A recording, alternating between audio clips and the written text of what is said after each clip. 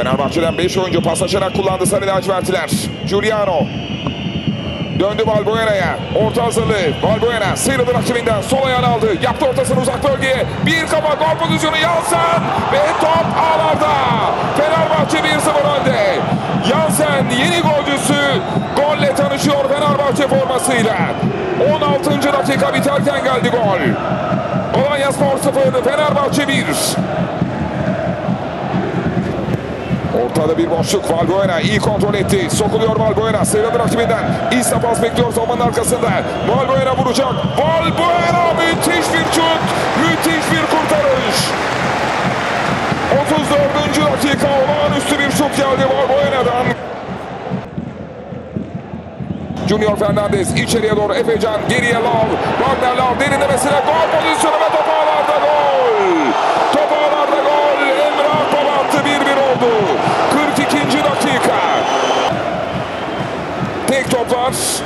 Wagner Lav'ın derinlemesine pası. Açıyı buluyor Emre. Sol ayakta vuruyor ve Kameni'yi mağlup ediyor.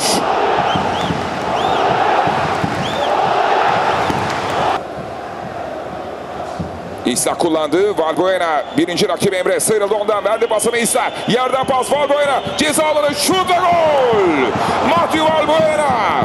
Fenerbahçe tekrar öne geçiyor. 45 artı 2'de geliyor Valbuena'nın golü. Golü adeta hissetti. Hazırladı ve sert vurdu uzak köşeye doğru. Valbuena yeniden Fenerbahçe önde. Junior Fernandez. Yansen dokunuyor araya giriyor ve Fenerbahçe'nin hata. Junior Fernandez sakatlandı. Yansen ceza içinde yerde ve karar penaltı. Fenerbahçe penaltı kazanıyor. Burada faul beklemişti. Mete Kalkavan Junior Fernandez Yansen mücadelesinde oyunun sürmesini istedi. Ceza içinde Yansen ve rakibiyle mücadelesi Zamellas'la mücadelesinde yerde kaldı ve penaltı kararı geldi. İşaret geliyor. Giuliano da topun üzerine. Giuliano.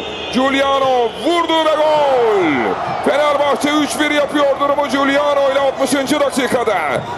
Ve ilk kez bir mücadelede 3 gole ulaştı Fenerbahçe Giuliano'nun bu penaltısıyla. 17 dakika kaldı Giuliano. Efecan mücadelesi. Efecan ayakta kaldı. Topu rakibinden kaptı. Efecan duvar pası düşüncesi. Tekrar Efecan içeride. Gol pozisyonu. Efecan direkten dışarıya. Aytemiz Alanya Spor gole çok yaklaşıyor. Alper uzak noktada. Yerden pas. Yansen ara pası. Offside. Offside bayrağı havada. Gol değeri kazanmıyor. Ağlara giden top. 90 artı 5'te Fenerbahçe hata gelişiyor. Sol kanattan Alper. İçeride solda o pas bekliyor. Alper sıyrıldı rakibinden. Girdi ceza alanına. Yerden orta. Gol pozisyonu Valbuena. Valbuena 90 artı 5 ve durum 4-1 oldu.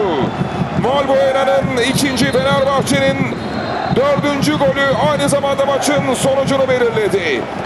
90 artı 5'te geliyor Valbuena golü. İşte Fenerbahçe'nin golü. Maçın skorunu belirleyen gol Alper Potuk böyle sıyrıldı. Valbuena içeride. Kontrol ve ayağının içiyle köşeye maçın sonucunu belirledi Valbuena.